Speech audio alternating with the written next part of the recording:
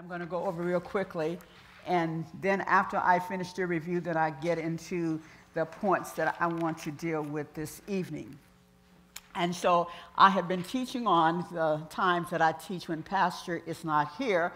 I've been teaching on making God's Word a priority. And so we have covered parts one and part two. And God's Word must be a priority in our lives. And especially in these end times, we're approaching, we're in the end times and we're approaching the end end times. But you better be equipped in the Word of God. And so it's very important that you know what entails in having God's Word a priority.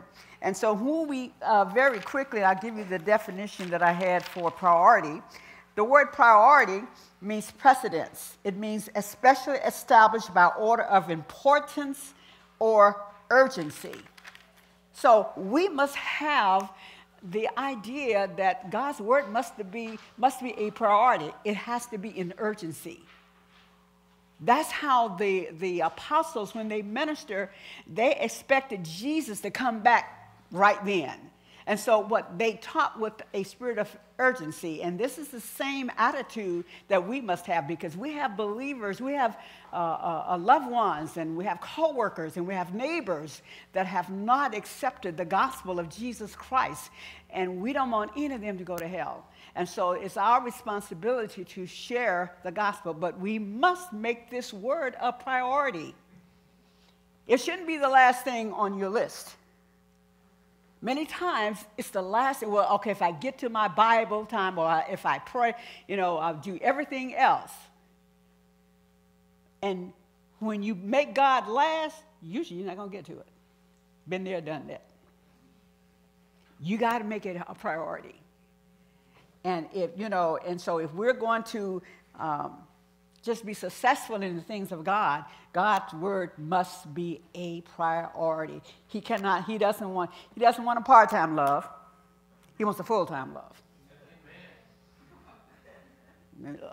Uh, I'm dating myself, but little Johnnie Taylor used to sing a song, I want a part-time love. No, it's all, all or none. So he doesn't want a part-time love. He don't want part of you. He wants all of you. So if you look at your handout that you were given, Making God's Word a Priority, that's the title. And the text is coming from Job 23 12. He says, Neither have I gone back from the commandments of his lips. I have esteemed the word of God more than my necessary food. So I have esteemed the word of God more than my, nece- pen, more than my uh, necessary food. Thank you. And uh, so Job is saying is that I desire God's word more than the food that I eat. And so we must have that same, same attitude. We must desire God's word more than our necessary food. And like I said before, the, uh, no food, no word, no food. So you fast.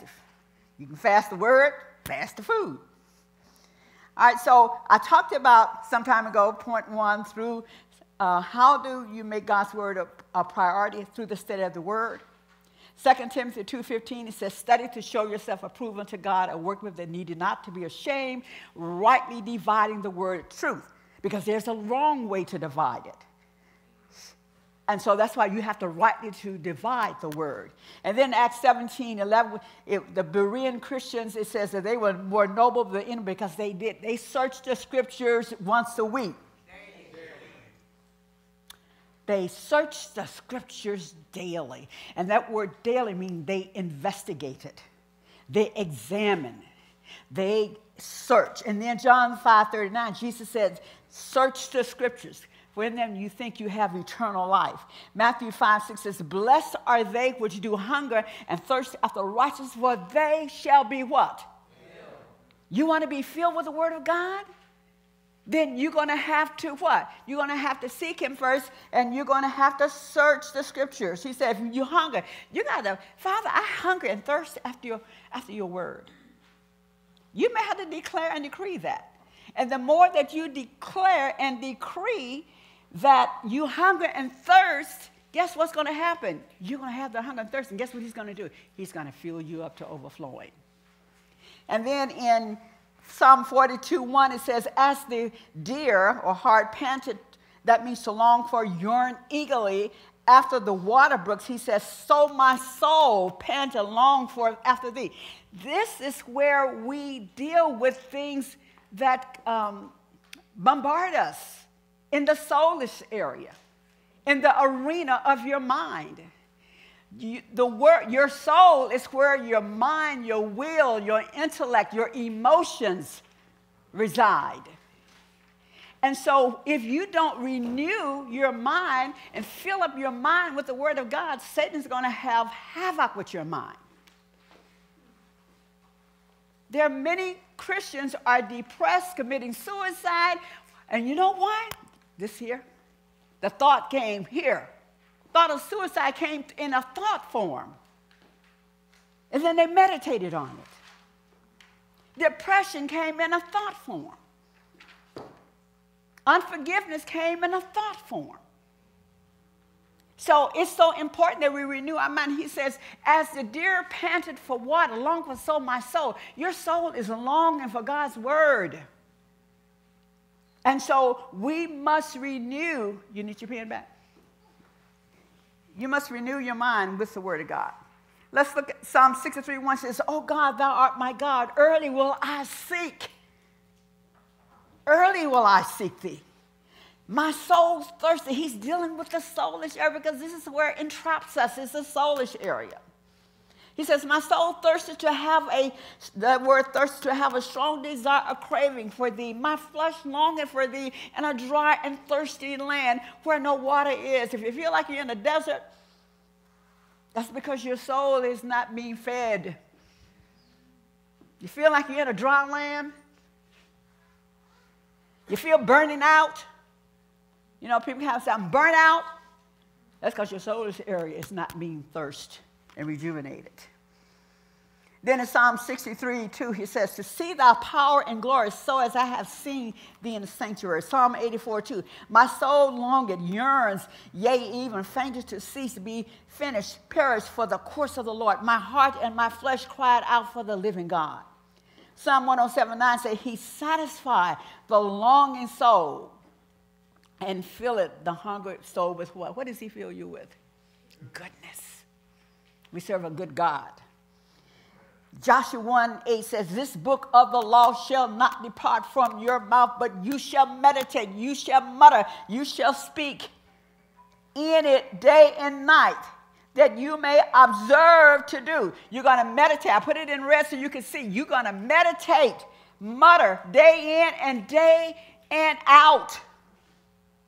And then, and then when you meditate, then you're going to do something. You're going to observe to do what you meditated on. According to all that is written, for you, he didn't say God here, it says for you will make your way what? Prosperous. And then you have good success. You want to be a successful individual, successful Christian, a successful person. He says that that's your responsibility to make your way prosperous and for you to have good success. Not God's responsibility, it's yours and mine. And how do we make that happen?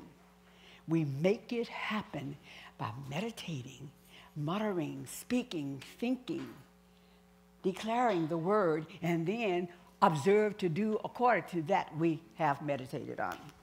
All right. And then it talks about in Matthew, we are familiar with Matthew 6:33. Everybody, let's quote it. Come on.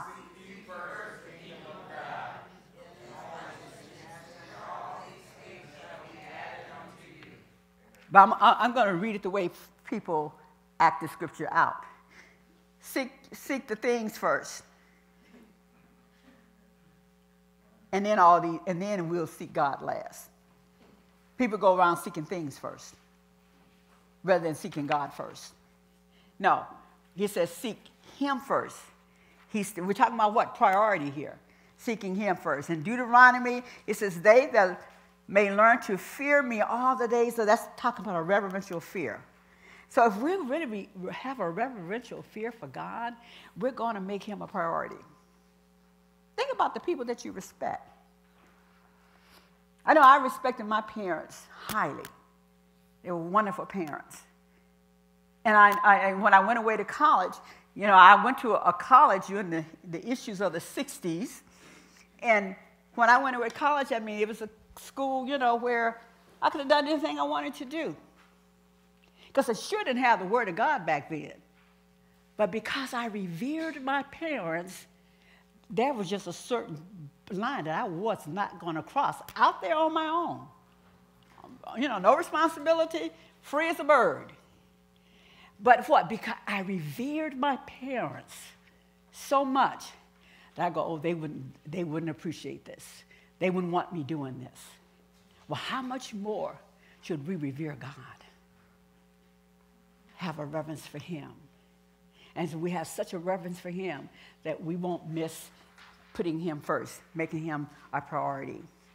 And then He tells us in Deuteronomy 6 4 through 6, and thou shalt teach them diligently to our children. And then what you're going to teach them to your children, you're not going to go like we was so many times when we were coming up, do as I say, not as I do. That's not going to work with these kids. Our kids are very intelligent. They're observing our behavior. No, we got to live it out before them, and then we can verbally teach it to them. But they got to see your walk first. We have to live out this word before them so that we can what verbally instruct them. And then my point two was through developing a consistent prayer life. Gosh, we had a wonderful time just uh, 10 minutes ago in intercessory prayer. It was so awesome. And so, quickly, I'm just going to go through this. Prayer is, and these are just some statements about prayer Prayer is asking, it's petitioning, it's requesting, it's beseeching, it's talking, it's communing, it's communicating, it's fellowshipping with and seeking God. It is also receiving. Prayer is a habit. This is something that you do as a habit. Don't leave home without it, as Karl Malden used to say about the American Express card. It's a habit. It's a habit that has to be developed. And so we must have, as believers, we must have a developed prayer life because of the fact that we are called priests. And the, the responsibility of the priest is to intercede on behalf of the others.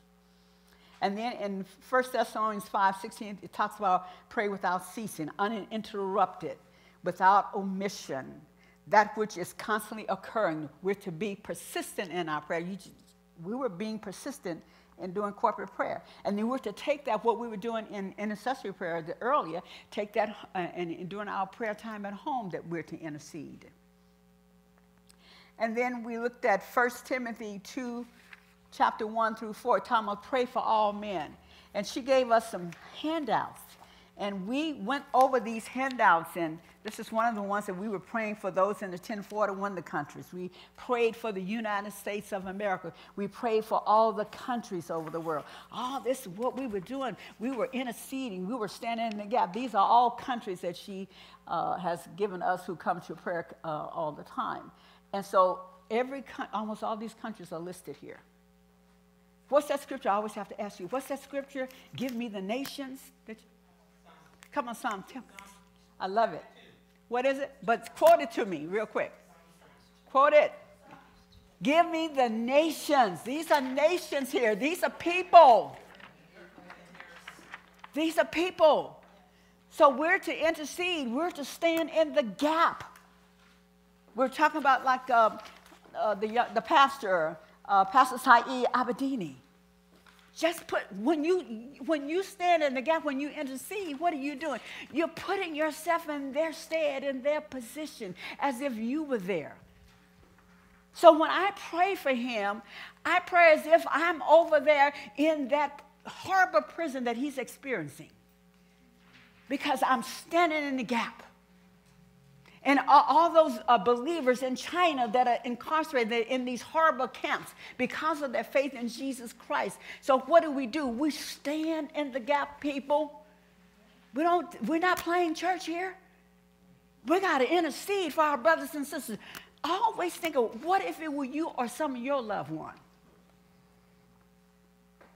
I have a daughter. What, you know, and she went to Beijing on, on a trip. Thank God she got back home safely. But being a, believer, and if they had visited, decided to visit a church, an underground church, and then they raided the church, they put them, incarcerate them, put them in a camp. So we have brothers and sisters that don't have it like we have here in America. So we are supposed to be other centered, the Bible says. That means get our focus off ourselves and stand in the gap for others. So we have, you know, we're going to continue to intercede for our, and she read some awesome statistics about how in those, in Iran, which is a very, uh, that's where Pastor Abedini is, but the thousands of people that are coming to the Lord Jesus Christ. Thousands of people are coming. Uh, one country, they, they counted, what, 17, and how many are there now? There were 17 believers, and how many? 100,000. So God is moving. And you know why He's moving? The saints. Because of intercession, because of standing in the gap standing in the gap. I love those statistics, the how that people are coming. And of course, you know, CNN and ABC not going to report that. Because you have to get it, you know, from a Christian source. All right. And then uh, Philippians 4 6, it says, Be anxious for nothing, uh, in everything through prayer, supplication, that your requests be known. And then we looked at Daniel, how Daniel, he did what he always did. Even in an adverse situation, and a decree had gone out to tell him he could not petition his God. But you, that didn't stop him. Why? Because he did what he always did. He was a prayer warrior. And then we looked at David. And David, when anytime he inquired of the Lord, the scriptures are there, I'm not going to go over them. Anytime he inquired of the Lord, what happened? God answered. And then the Apostle Paul. And see, we want to believe, believers want to be believers like Apostle Paul. Look what he says. And he says, throughout all of these that I've listed, he says, without ceasing, I make mention of you in my prayers. I'm not going to ask you to show your hand. This is a rhetorical question. Don't answer it. How many of you are praying for your brothers and sisters? He says, I make mention of you. Look at the, you can read it. I don't want to read all of it, but look at how many times he says, all the time, I make mention of you. Don't raise your hand. How many of you are praying for me? Don't raise your hand. I trust everybody sitting in that chair, you're innocent because I'm a minister here on staff and pastor, and I hope you're praying for pastor, and I hope you're praying for me because we need your prayers. and pray for other pastors and leaders. And pray for the leaders here. All of you, all the people here that are in leadership that you see in Manna and that you see as an usher, uh, David and, and Mr. Gilchrist and, and the counselors. How many of you pray for counselors? Don't raise your hand. Counselors need your prayers so that they could minister effectively to the people who come into that that, uh, that counseling room. Pray for the directors of all the departments. Every health ministry worker. I pray for you. I pray for every director. I pray for every health ministry worker. I pray for the body of Christ. My prayer is that the body of Christ particular spirit full honor will walk worthy of him to all pleasing, being fruitful in every good work, increasing in the knowledge of him, strengthened with all might, according to his glorious power, unto all long suffering and patience with joyfulness. I just played the word of God. That's in scripture. I just put a bunch of scriptures together and prayed the word of God over you. So, we, thank you. Well, thank you for praying for me. I call those things be not at all. Praise the Lord. And so that, that is my review. Now I'm going to get into my third point. The third point that I want to talk about uh, this evening is point number three is assembling consistently with other saints. Turn to Hebrews chapter 10, verse 25. Hebrews chapter 23. Hebrews chapter 10, verse 25. I'm sorry.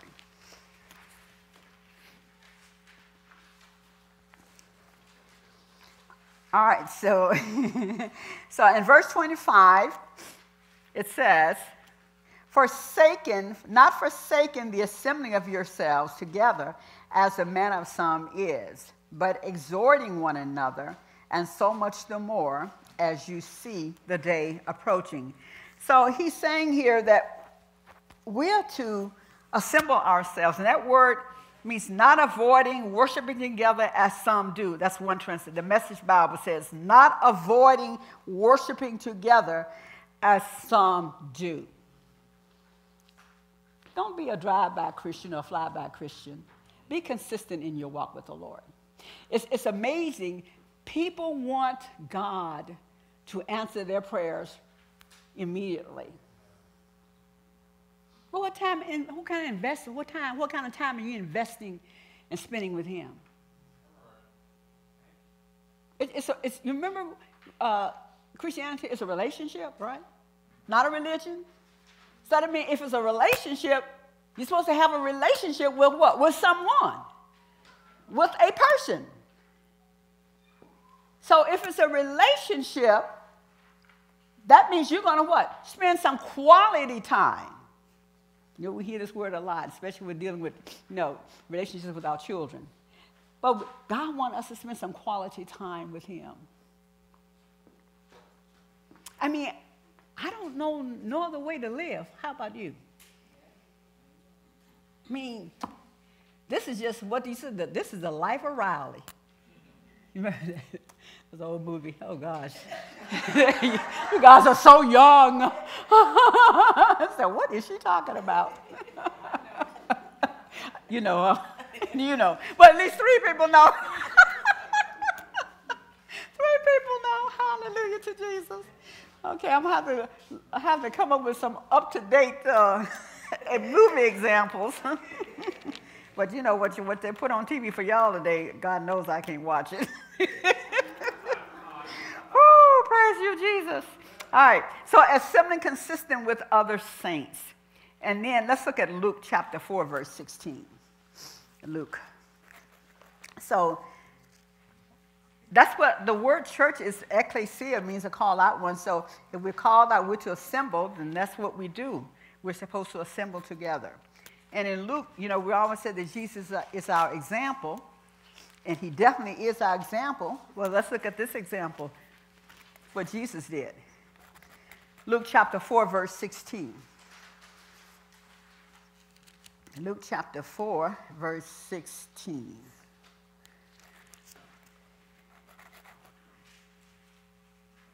So he says here in Luke chapter 4, verse 16, he says, and, and he, I'm reading first from the King James Version. He said, He came to Nazareth where he had been brought up and as his custom was, now this word custom means a habitual practice of an individual. It's a practice followed as a matter of course among a people. So he says, as his custom was, he went into the synagogue on the Sabbath day and stood up for to read. A habit is a customary practice or manner. Now, I like the, uh, the Message Bible, what it says here in Luke 4 16. He says, As he, talking about Jesus, always did on the Sabbath, he went to what? The meeting place. So he, he wasn't there, he didn't come one week and wasn't there the next week.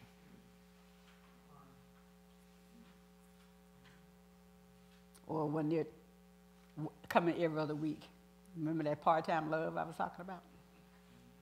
So, you know, I'm just saying, if you look at the picture, you treat him as a part-time love. Because the Bible says we, he's supposed to be the example. He says this was his habit.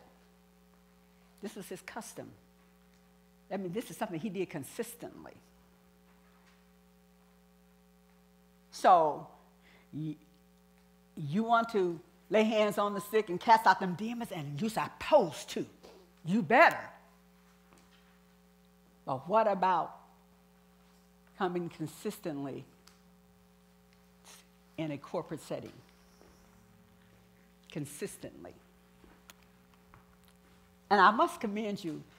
I love the way this room is looking now. Did You guys notice, for those of us who have been coming a while, keep it up. Let me encourage you. Keep it up. You look good sitting out there listening to the Word of God. And you're going to benefit from it. Because we, there, we will suffer persecution because we're living godly. But if you don't know what to do with the persecution, then you're going to go the way of the world and respond the way of the world. But see, you know, now because you're coming and learning and, and growing in the things of God, you're going to know how to respond to this persecution. You just might be bold and say, bring it on. Because I got the Father, the Son, and the Holy Ghost. And like uh, Elisha told his, uh, his servant, he said, They that be with us are more than they that be with them. Because there was a whole lot of big army that, that, that the uh, servant was looking at. And he was looking in the natural. And, and Elisha sh- showed him in the spirit realm. And then that's when he showed him that, remember the movie, that chariots of fire? showed him those chariots of fire. Why? God intervened. Two people, and God intervened on their behalf. All right? So, here, Jesus, he did this as a habit. All right, now I'm going to go to my next point. Point four, I want you allowing the gift within you to bless others. Allowing the gift within you to bless others. You have been gifted with certain gifts and talents. And they're not just for you to hoard for yourself, they're for you to bless other, the body of Christ. Let's go to 2 Timothy chapter 1, verse 6. 2 Timothy chapter 1, verse 6. Let's look at that real quick. In 2 Timothy, we're talking about making God's word a priority. And so we're now looking at allowing the gift within us to bless others. In 2 Timothy chapter 1, verse 6, it says, Wherefore I put thee in remembrance that thou stir up the gift of God which is in thee by the putting on of my hands. He says, stir up the gift of God. So your gift, it says in, in the book of James, it says, every good and perfect gift comes from the Father of lights. So whatever your gifts are, your talents are, guess who gave it to you? Even the people who don't serve him, he still gave them the gift. Because the gifts of God are calling them without repentance. And I, I was listening to a, a, young lady in an interview who's a secular um, singer. And, uh, I, you know, I guess she's been singing secular music for a number of years. I don't know how many. But she was saying how she doesn't want to sing anymore. You know, she doesn't have that passion, that fervency. And I'm thinking, maybe because you're in the wrong lane. Maybe because you should have been serving your gift to God. That's why you burn out. That's why you don't have the drive and the passion. Because you, you're using your gift for somebody else and you didn't give it to God.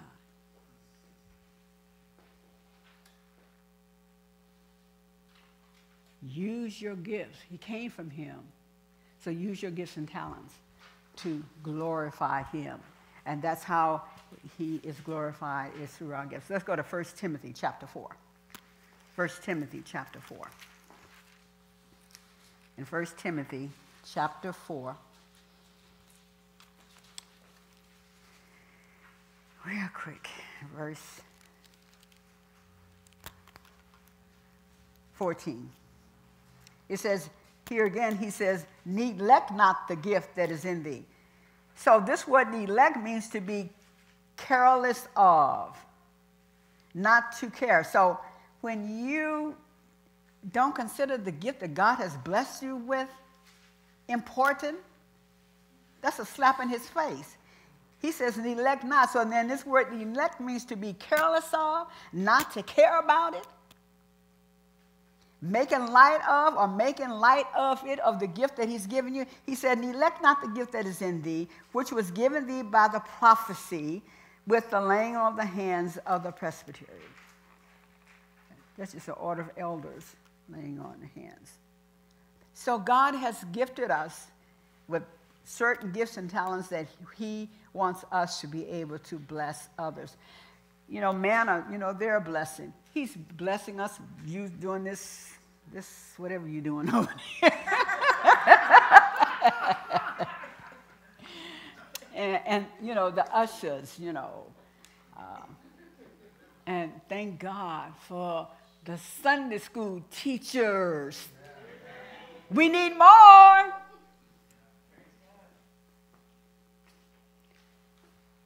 And those who work with the teenagers. Thank God for those teachers because they're making, they're being a blessing to others. They're using their gifts and their talents.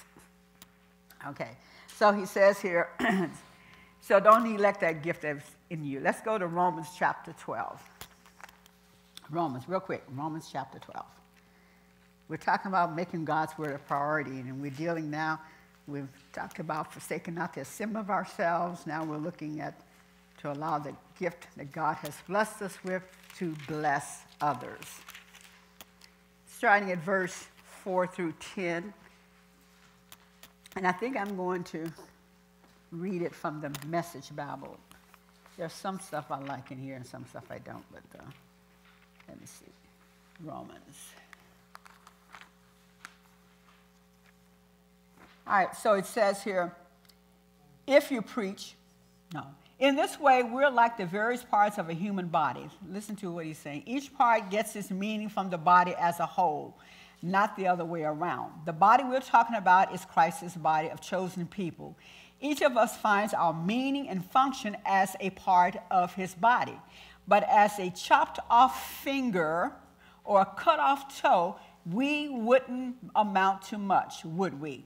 So, since we find ourselves fashioned into all these excellently formed and marvelously functioning parts in Christ's body, let's just go ahead and be what we were made to be without enviously or pridefully comparing ourselves with each other or trying to be something we aren't. You don't have to compare yourself with anybody. You are uniquely and wonderfully made. And you don't need to be anybody else but you. God made you to be you. You don't need to be anybody else. If you preach, just preach God's message, nothing else. If you help, just help. Don't take over. if you teach, stick to your teaching. If you give encouraging guidance, be careful that you don't get bossy if you're put in charge, don't manipulate. Hello. That's, that's not for the body of Christ. If you're called to give aid to people in distress, keep your eyes open and be quick to respond. If you work with the disadvantaged, don't get yourself, don't let yourself get irritated with them. Hello? You ever worked at that can very easily happen. I'm going to read that again. Don't let yourself, when you're working with disadvantaged people, don't let yourself get irritated with them or depressed by them. Keep a smile on your face. I love that. That just brought it right home, didn't it?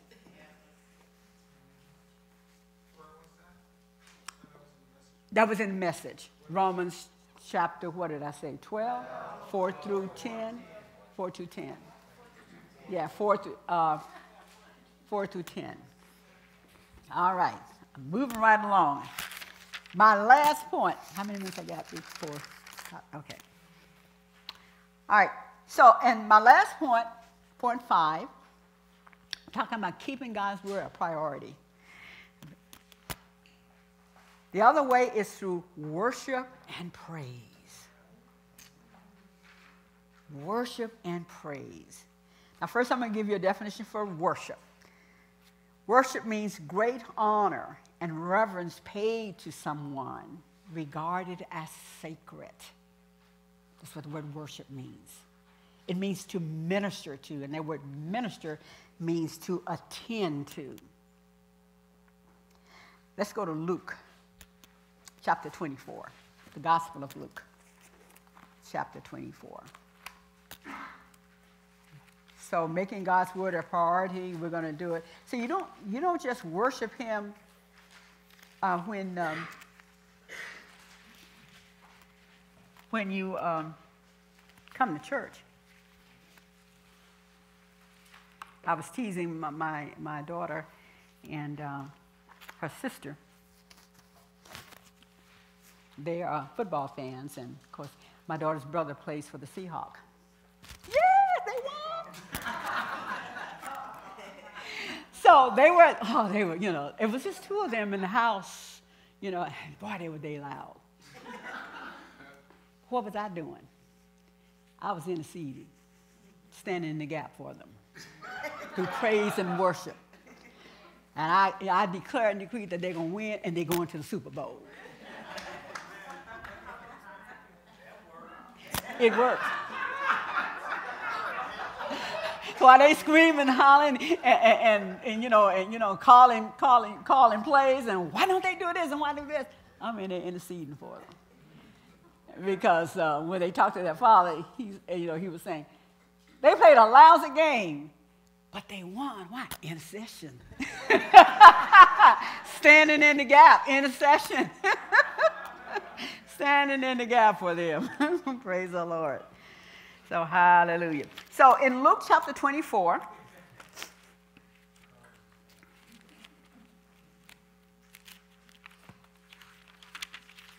starting in verse 50. Yeah.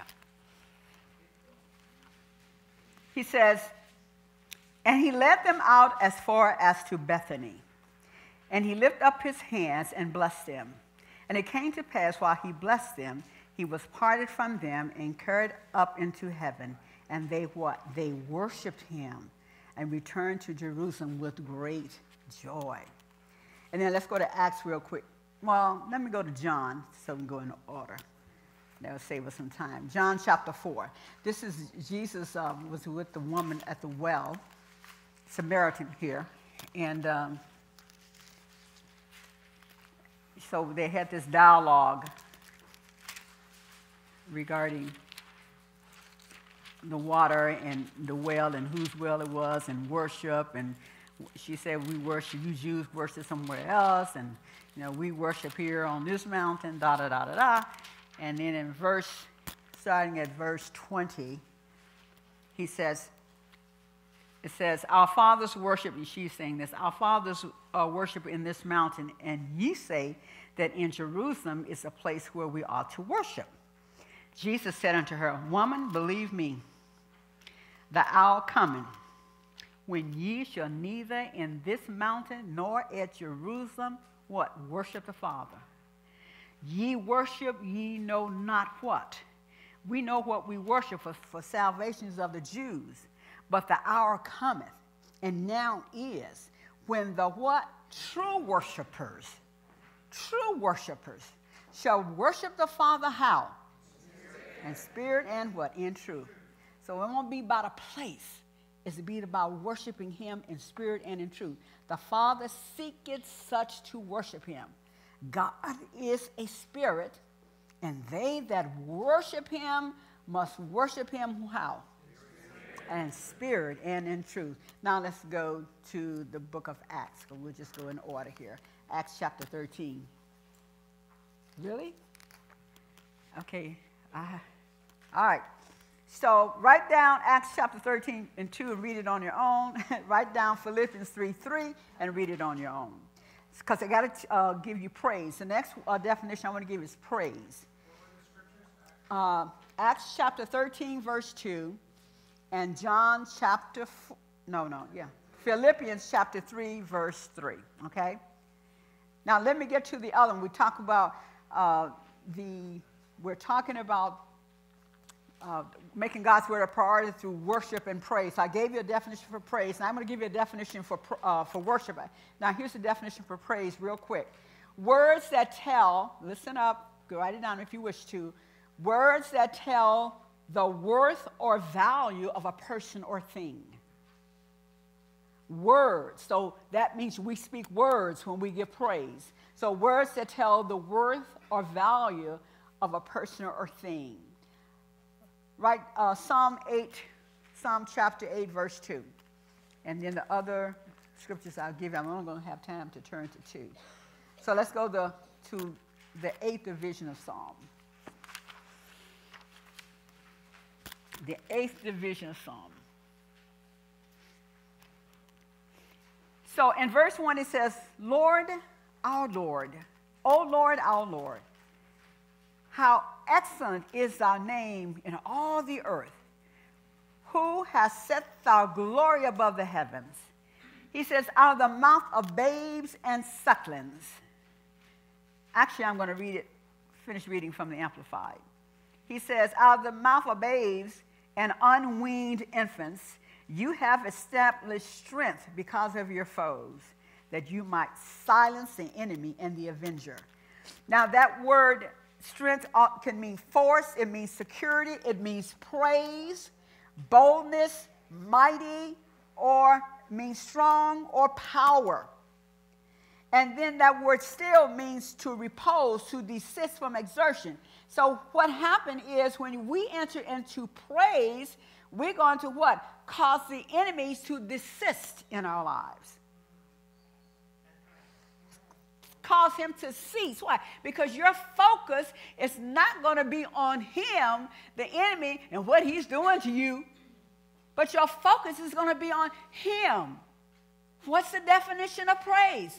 What? To tell the value and worth of a person who is what? Jesus.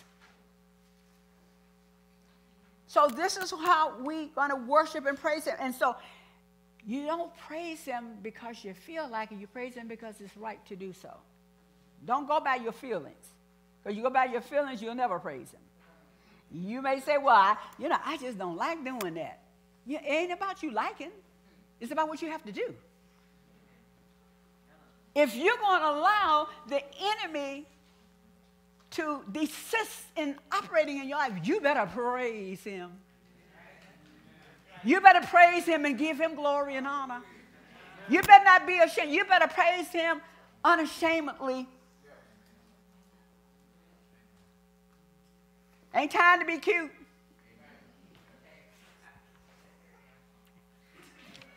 worrying about your nails or your hair or the outfit you got on. You enter into that attitude of worship and praise. Glory. Hallelujah. Write down uh, Hebrews 13 15. And it talks about uh, the sacrifice of praise, and it's the fruit of your lips. And write down 1 Peter 2 9.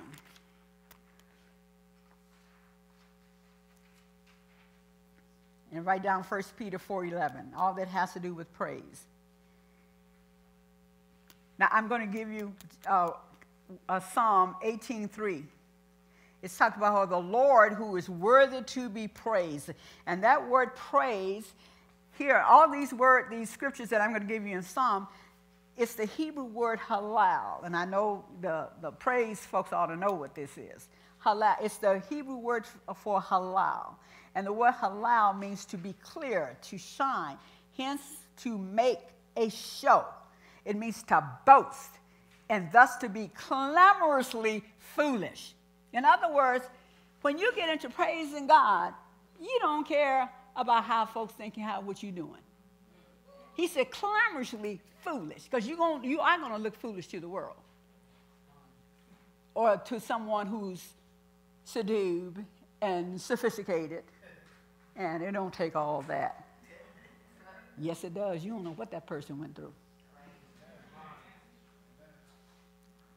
Don't be so uppity. Because you dirt like all the rest of us. Came from dirt, going back to dirt.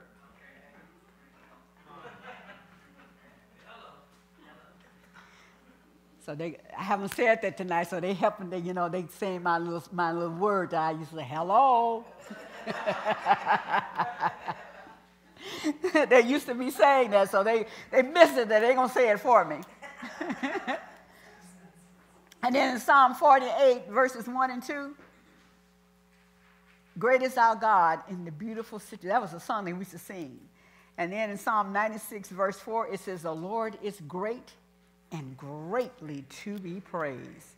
And I know you know this in Psalm 113, 3. From the rising of the to the down of the same, he's worthy to be praised. And we're going to turn to this last scripture, and then we're going to do exactly what we just said we we're going to do. Go to Psalm 145.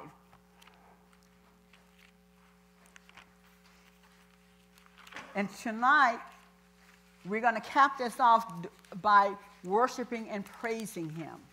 And if you have never done this before freely, you're going to do it tonight. Psalm 145, verse 3, it says, Great is the Lord, and what? And greatly to be praised, and his greatness, what? Is unsearchable. So now listen to me. Mr. Dawson is going to uh, bring some songs and we're going to enter in.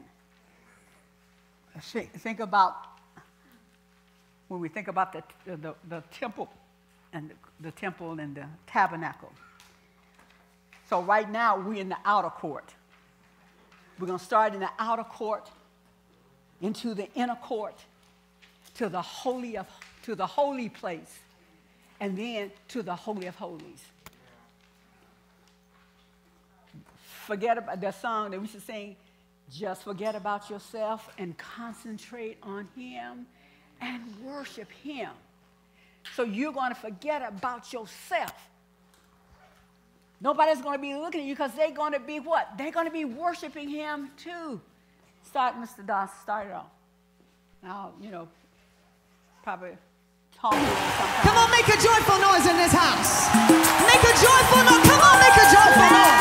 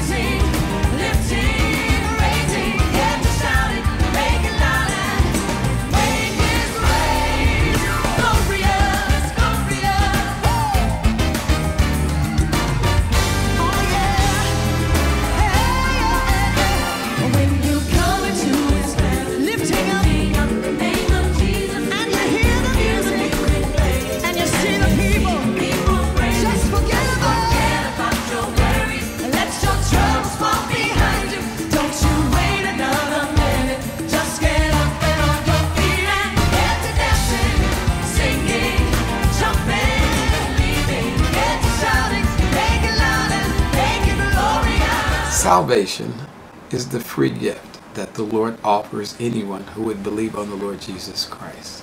The Bible says in Romans 10 9 and 10 that with our hearts we believe unto righteousness, and with our mouth confession is made unto salvation. I trust that you will believe God's word, that your faith will be in the risen Savior who came to give his life for you. For God so loved the world that he gave his only begotten Son, that whosoever would believe in him should not perish, but have everlasting life. Will you pray with me this prayer of salvation? It's not difficult. It's very easy, but you must mean it from your heart. So repeat these words after me. Jesus, I confess you as my Savior and my Lord. I believe in my heart that God raised you from the dead. With my mouth, I confess you and I receive you as my Savior. Jesus, thank you for making my heart your home. Thank you for living in me. God the Father is now my Father, and the Holy Spirit has done a work in me. I am a new creature in Christ Jesus, my Lord. Thank you, Lord, for saving me, and thank you for guiding my life. In Jesus' name, amen. We're here to be a blessing to you at Spirit Food Christian Center. The way this broadcast is brought to you is by people's faithful sowing and reaping as a result of God's word being given unto them. So I want to encourage you, be a part of this ministry of sowing and reaping. The Bible says, whatsoever a man soweth, that shall he also reap. In this ministry, we believe that man must hear the word of God. For man does not live by bread alone, but by every word that proceedeth out of the mouth of God. The Bible declares, God is able to make all grace abound toward you, that you always have all sufficiency in all things, may abound to every good work. God loves a cheerful and hilarious giver. I encourage you, be a part of this ministry. Be hilarious in your giving and watch the Lord bring it back to you in many, many ways. In Jesus' name. You have been watching the Spirit Food Christian Center worldwide webcast online at www.myspiritfood.com. Join us for worship service each Sunday at 9:30 a.m. And be sure to check out our website for our weekly live broadcast and much, much more. Oh, taste and see that the Lord is good.